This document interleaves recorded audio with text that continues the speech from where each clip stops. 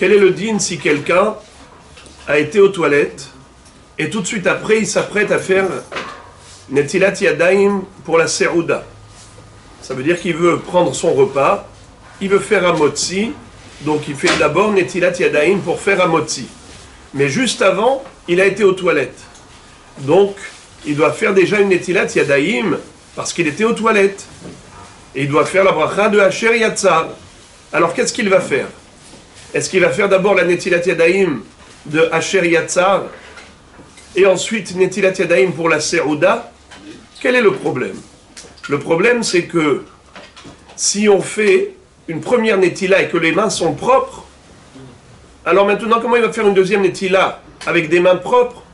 Ça veut dire que tu ne peux pas faire une bracha de Al Netilat Yadaim sur une Netila qui ne sert à rien. Mais tu viens de faire Netilat Yadaim pour Asher Yatzar. Alors tu refais Netilat Yadaim pour Amotzi et tu vas faire la bracha de Vetsivan ou Al Netilat Yadaim alors que tu venais maintenant de, te, d'aller de, de faire Netila pour les toilettes. Qu'est-ce que tu vas faire? Alors tu vas faire l'astuce que proposent certains haronim, c'est de se gratter la tête ou de, se, ou de toucher ses chaussures et de cette manière-là, tu vas avoir un hiyuv de refaire Netilat Yadaim. Le Yalkut Yosef nous dit que ça s'appelle Machnis Atzmo le Safek Bracha Shenatzricha. Safek Bracha Levatala. C'est-à-dire, un homme n'a pas le droit de prononcer le nom d'Hachem en vain. bracha Levatala. Et Bracha Shenatzricha, aussi c'est comme Bracha Levatala. Une bracha inutile, c'est comme Bracha Levatala. Alors comment il va faire ce monsieur? S'il se gratte la tête et il refait Netila, il fait la bracha, il a fait ça exprès. Donc ça s'appelle Marnisatzmo, mais ça fait bracha Levatala, c'est assourd. Alors qu'est-ce qu'il va faire? Il va faire une Netila, une seule, et il va faire la bracha de quoi d'abord?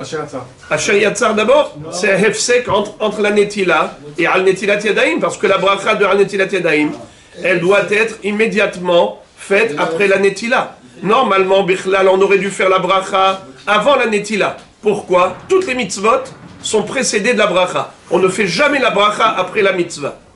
D'abord, on fait la bracha, après on met les tefillin. D'abord, on fait la bracha, et après on allume les nérodes de Hanouka. D'abord, on fait la bracha, après on récite le Homer. Tu ne fais pas le contraire. Quelqu'un qui a récité le Homer, il a dit aujourd'hui on est temps et temps, eh bien il a perdu la bracha. Parce que la bracha doit être toujours récitée envers la asiyatan, avant l'action de la mitzvah. Comment ça se fait que al netilat yadaim, on fait après être, après se laver les mains, après s'être lavé les mains? Parce que c'est spécial netilat yadaim. Étant donné que les mains sont sales, et tu t'apprêtes à les laver pour les nettoyer, comment tu vas faire une bracha quand tes mains sont sales? Tu vas prononcer le nom d'Akadosh Baruch avec des mains sales, et après ça tu vas aller les laver, alors lave-les d'abord et après tu fais la bracha. Mais, après, mais quand même, on a une notion de envers la asiyatan. Ça veut dire qu'il faut faire la bracha avant la mitzvah. Alors qu'est-ce qu'on fait? On fait la bracha avant de s'essuyer les mains. Car l'essuyage des mains fait aussi partie de la mitzvah de Netilat Yadaim. Se laver et s'essuyer. Alors nous, qu'est-ce qu'on fait? On ne fait pas la bracha avant de se laver parce qu'on ne veut pas la bracha avec des mains sales. On se lave les mains. Mais comme il faut quand même faire la, la bracha avant la mitzvah, alors on fait la bracha avant de s'essuyer. Comme ça, on est avant la fin de la mitzvah. D'accord Alors donc tu es obligé de faire al netilat yadaim. Tout de suite, tu ne peux pas faire la bracha de Asher et ensuite al netilat yadaim, car ce sera une interruption, un hefsek entre les deux. Alors qu'est-ce que tu vas faire? D'abord al netilat yadaim et ensuite Asher. Eh bien, le Asher c'est un hefsek, c'est une interruption entre la netila et le motzi. Alors qu'est-ce que tu vas faire? Tu vas faire Asher après Motzi. Donc, Netila, Al Netilat Yadaim, Hamotzi Lechamina Aretz, et Asher. Tu as trop éloigné le Asher de la Netila, parce que tu as mis le Motzi entre les deux. Or, quand tu fais la Netila en sortant des toilettes, tu dois tout de suite faire Asher. Dès que tu as terminé la Netila, tu récites Asher. Alors comment tu fais? On n'est pas sorti de l'auberge. Alors je vais vous dire, je vais vous dire le psak du Shulchan Aruch, et ensuite je vais vous dire le psak halacha du Yalkut Yosef. Regardez comment Rav Ovadia Yosef Zatzal a révolutionné la halakha parce que dans plusieurs endroits, il va à l'encontre de l'opinion de Rabbi Yosef Karo dans le Shulchan Aruch. Bien qu'en général, c'est son leitmotiv, toujours il dit En la et la divrei maran, il faut suivre le Shulchan Aruch, Shulchan Aruch. Mais il y a un Rav qui a écrit un livre, il a recueilli 122 endroits où Rav Ovadia Yosef Zatzal ne va pas sur les traces de Maran, où il a été holek Allah, où, il, a, dit autrement, où il a été possèque autrement. Moi, je vous ai déjà rappelé plusieurs fois des halachot où on voit qu'il a, dit autrement, mais regardez là. Le Shulchan en parle directement et je vous lis ce qu'il dit. Siman Kuf Samech He Saif Aleph. Ha'oset tzracha verotze. Un homme qui va aux toilettes et qui veut manger. Il faut qu'il fasse netilat yadaim deux fois. Pour la première netila, il fait la bracha de asher yatzar. Ve'ala shniya mevarech al yadaim. Et pour la deuxième netila, il fera al netilat yadaim. Et là, le Mishnah Bura rajoute que la première fois, quand il fait netila, il ne faut pas qu'il la fasse bien. Il faut qu'il fasse une netila, on va dire, euh, légère. Pourquoi FIFA. De manière à ce que ses mains soient pas super, super propres, nickel. Pourquoi Juste de quoi faire à Yatza. Comme ça, la deuxième, la deuxième netila qu'il va faire pour le motzi, elle a une utilité, elle a une fonction, elle vaut la peine. Donc, il fera deux netilotes. Ça, c'est ce que dit le Aruch. D'ailleurs, il continue et il dit, et s'il n'a pas beaucoup d'eau, il veut faire qu'une seule un. אם אינו רוצה ליטול אלא פעם אחת, לאחר ששפר פעם אחת על ידיו ומשפשף, יברך אשר יצר, ואחר כך בשעת הניגוב, יברך על נטילת ידיים. Alors en effet, il fera Asher Yatzar au début quand il a lavé les mains, et ensuite, juste avant de s'essuyer, il fait Al Netilat Yadayim. Ça c'est le Shulchan Aruch. Maintenant écoutez le Yalkut Yosef. Comme s'il n'y a pas de Shulchan Aruch.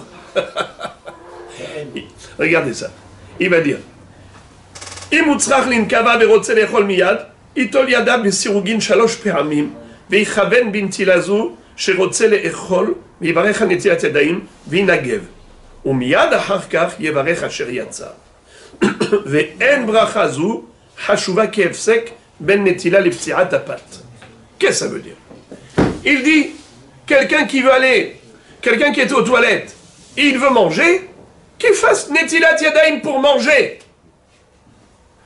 Avec la kavana de Netilat Yadayim pour manger. Et il fait son, sa bracha de Netilat Yadayim, et ensuite Hamotzi Lechemina Aretz. Pardon, excusez-moi. Et tout de suite après Netilat Yadayim, il fait Asher Yatzar. Et après Asher Yatzar, il fait Hamotzi Lechemina Aretz. Donc, très simple. La vie est, est simple, la vie est facile. Tu as été aux toilettes, tu sais que tu dois les manger, fais une seule netila. Prends le keli, fais netilat yadayim convenablement, mais attention, comme on le sait, qu'il y a quand même une différence entre netilat yadayim de la serouda et netilat yadayim de Asher Yatzar. C'est que netilat yadayim de Asher Yatzar, c'est aussi, pas seulement pour s'essuyer les mains, c'est pour enlever le roi le mauvais esprit qui règne sur les mains quand on va aux toilettes. Il y a roi ra. Et pour le retirer, il faut shalosh peramim besirugim, comme la netilat yadaim du matin. La netilat yadaim du repas, c'est c'est pas besirugim, c'est pas par alternance, c'est directement trois fois sur chaque main. Alors que netilat yadaim des toilettes, c'est comme netilat yadaim du matin, c'est besirugim, ça veut dire par alternance. Une fois sur cette main, une fois sur cette main, une fois sur cette main, une fois sur celle-là, trois fois besirugim. Et c'est comme ça. Alors maintenant, le monsieur, il va faire une netilat yadaim qui est à la fois pour le pain et à la fois pour sortir des toilettes. Il faut aussi qu'il enlève le roi Ra'a, donc il faut qu'il fasse Netilat Yadayim Bessirugin. Et à ce moment-là, il fera la bracha de Al Netilat Yadayim normalement, comme pour la Serouda. Après ça, il doit faire Motzi, c'est pas grave, le Motzi il va attendre un peu.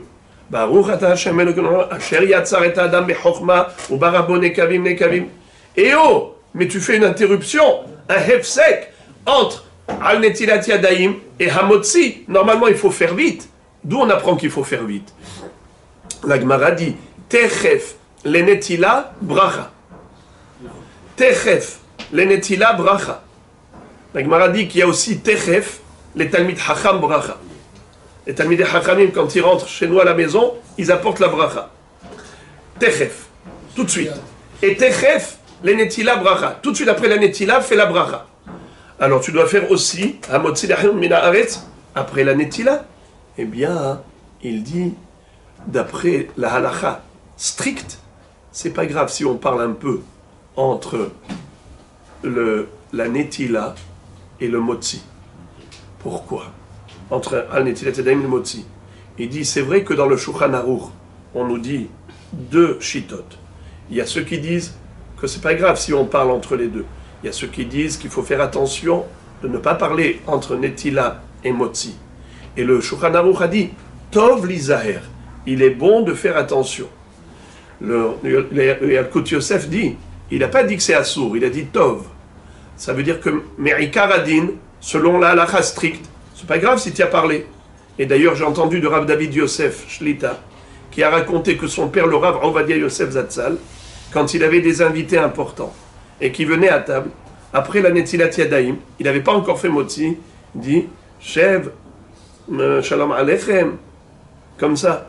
Ça veut dire que il, il, allait d'après la halakha stricte, c'est-à-dire qu'il n'y a pas d'obligation. Ah, attention, attention, ne parle pas. Si tu as parlé, c'est pas grave. Alors il dit à plus forte raison que c'est pas grave que tu fasses Asher Yatzar.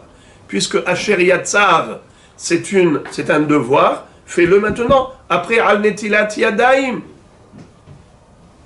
Avant le Motzi, c'est pas grave. Ah, le Shulchan a dit qu'il vaut mieux se taire. Il vaut mieux se taire. Mais maintenant, tu as une raison de ne pas te taire. Maintenant, tu as une raison de faire une bracha. Fais-la. Et dit, si tu es sûr que tu ne vas pas oublier, fais-la après Motzi. Asheriyatzar. Donc, je répète, de préférence, tu fais Asheriyatzar après le Motzi. Si tu, risques d'oublier de faire Asheriyatzar après Motzi, fais-le avant Motzi. Entre la Netila et le Motzi, parce que de toutes les façons, de parler, ce n'est pas grave, puisque d'après le Shulchan Aruch, il a été possèque que Tov Lizaher, ça veut dire de préférence, il vaut mieux se taire, mais en l'occurrence, puisqu'on a une nécessité de parler pour réciter la bracha de Hacheri c'est moutard de le faire et.